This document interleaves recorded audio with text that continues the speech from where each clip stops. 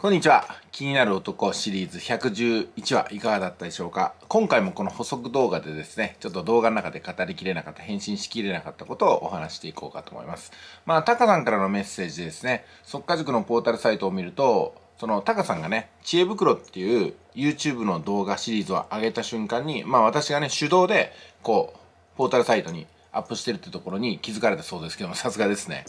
えー、そうなんですよ。これね、タカさんがね、新しい動画をアップロードされた瞬間に、私がね、お、アップロードされたなっていうことで先回りして、そのまんま、あの、お手つきの時にね、掲載しております。ですんで、タカさんから連絡がなくても、先回りして、できるだけ前倒しで作業するようにしてるんですよね。これはタカさんに限らず、まあ、ナミさん、その他の熟成さんが何か動画アップロードされたら、採用できるものはないかなって考えたりとかね。例えば、相川さんの動画を見ながら、それからね、あまり知られてませんけども、ツイッターで頑張ってらっしゃる品田さんって方がいらっしゃるんですよ。で、そういった方の発信も私、逐一見てですね、それについて、何か学びになることはないかな再アウトプットできることはないかな取り上げられることでできないかなっていうふうに、あの、あらゆる熟成さんの発信を今ね、できる限りリサーチしてるんですよ。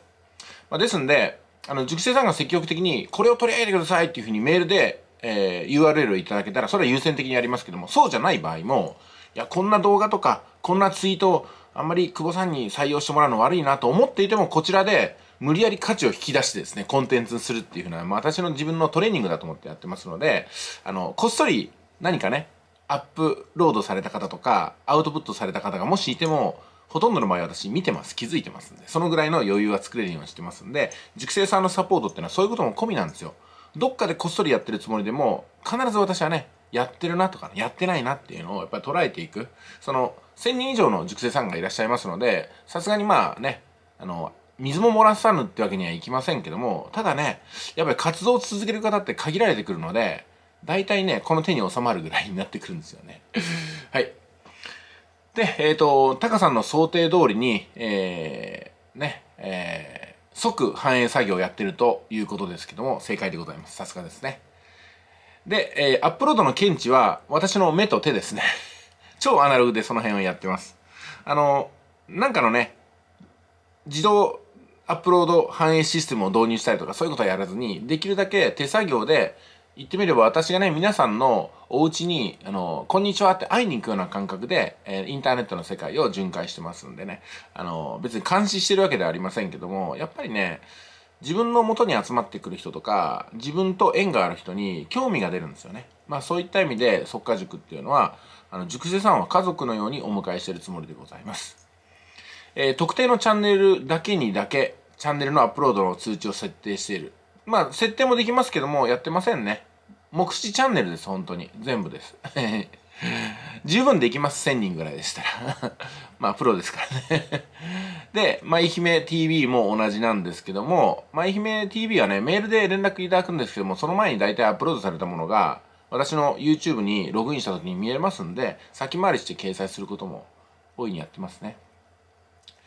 はい。えー、で、URL の埋め込みタグをコピーペステポータルサイトに反映作業してると思ってます。うん。だからなんかね、不思議な方法でやってるわけでもなくって、全部目視ですからね、私の場合は。で、十分それでもできますよってことなんですよ。あの、たくさんの熟成さん抱えて大変でしょうって言っても、全然できます、このくらいだったら。1000人ぐらいだったら全然カバーできますんで大丈夫です。だからね、これ逆を返せば、あの、生徒さんが100人、200人のレベルで返信が遅れるっていう人は、ちょっと警戒した方がいいんじゃないかなと思ってるんですよ。私この規模でですよ。この規模でできてるんで、しかも即答でしょ？で、動画返信が主なんですよ。で、できますんで、これができないような人についていくと、相当できない人になるんじゃないかなと私思ってますけどね。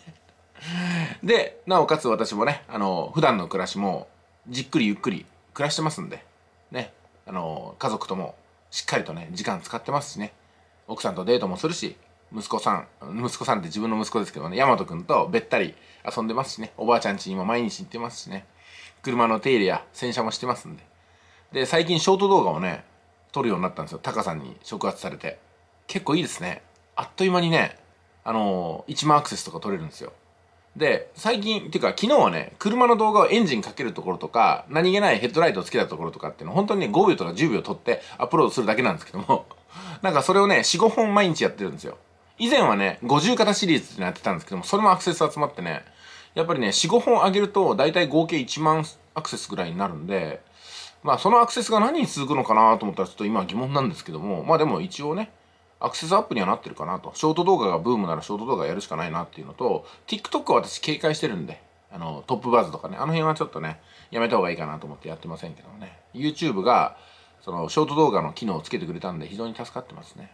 はい。ということで、補足動画以上でございました。あこれからもよろしくお願いします。